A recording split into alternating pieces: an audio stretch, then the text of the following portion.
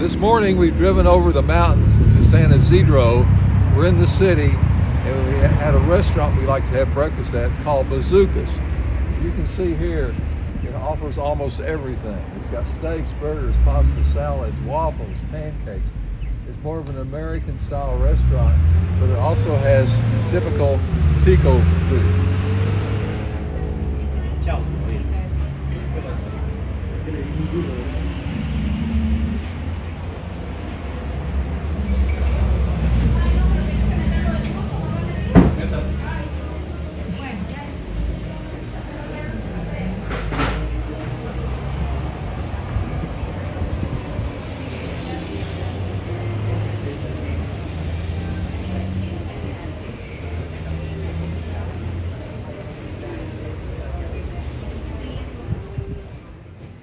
Today, Betty and I are at one of our favorite places to eat in San Isidro. We go from Quepos, Manuel Antonio, toward Dominical, over the mountains into San Isidro. Today, we came here to get a set of tires for our ATV.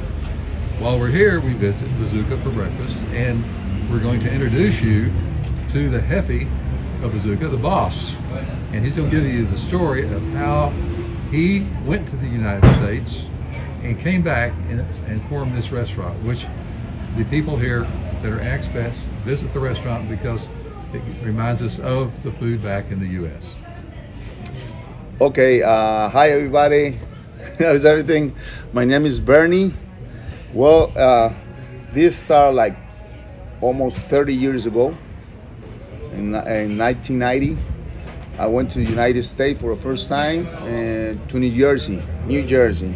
It was a bunch of friends up there, and I started working in a restaurant as a helper, you know, like washing dishes.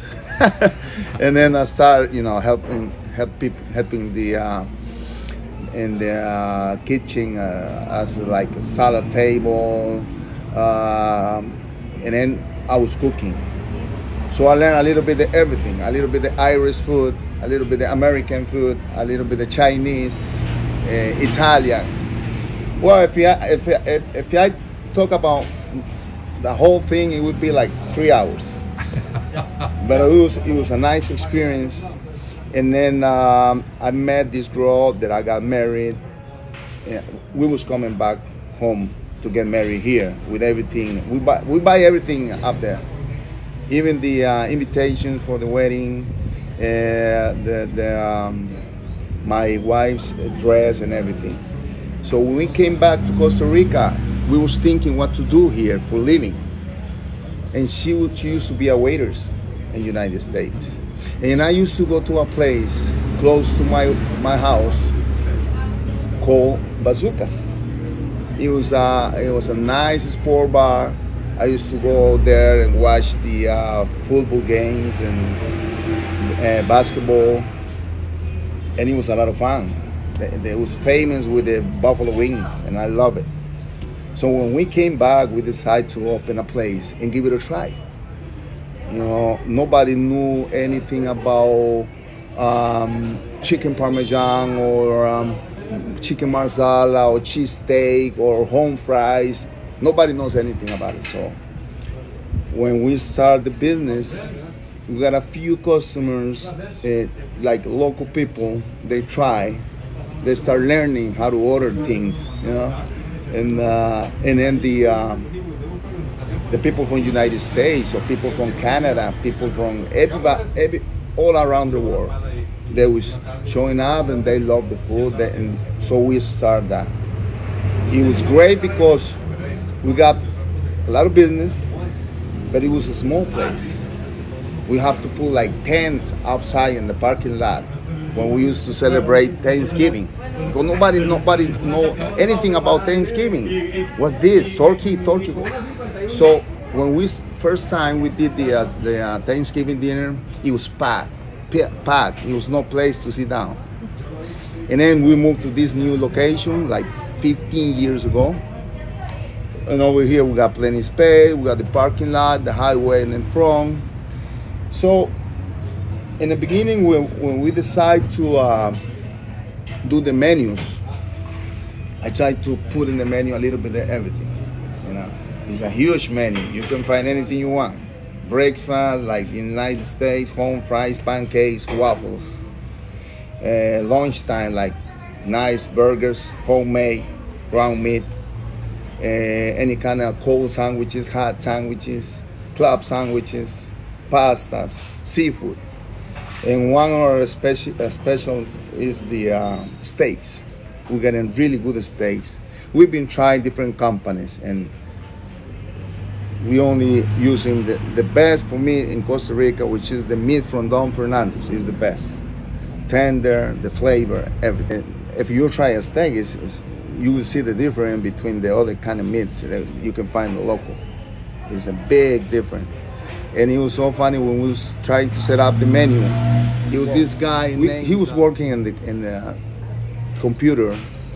He used to do like uh, uh, magazines and websites and things like that. So he started help, helping me with the menu. And, and he says, well, Bernie, we got to put a, a, a, burger with your name on it. Let's do that. So we, we decided to do the Big Burn. The Big Burn burger. I like that. It's big, it's huge, it's like this big.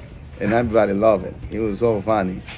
And uh, so we, in the restaurant here, we tried to set up different atmospheres like the outside. We got a, a, like a fountain with fish outside. We got a small room for meeting, and we got like people traveling, like students coming to Costa Rica and stay here for three weeks. We try to set up a nice packages for them, you know, like really good price and good good food. Like right now, it's like it's a, it's a group of young people coming like like for lunchtime. They're gonna show up any moment. so it's been a whole adventure you know.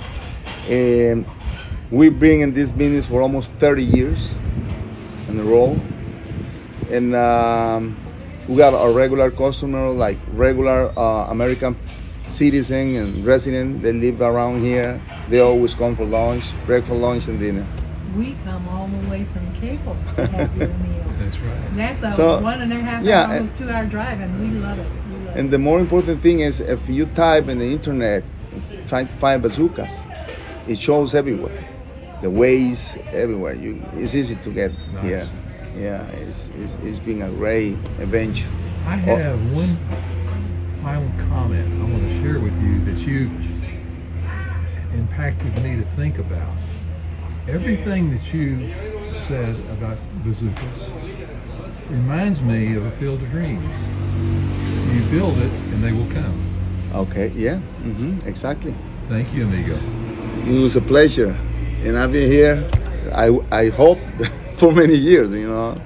And we'll see you guys. You Thanks are for so coming. young, you will be here forever. Well, I'm 51 already. Oh, well, I'm not I- that young. We- you could be my son. We call ourselves forever young because I'm 78 and Betty's 83. okay, I'm still young. I'm, You're still young. I'm 83. I'll be 84 at Christmas Eve.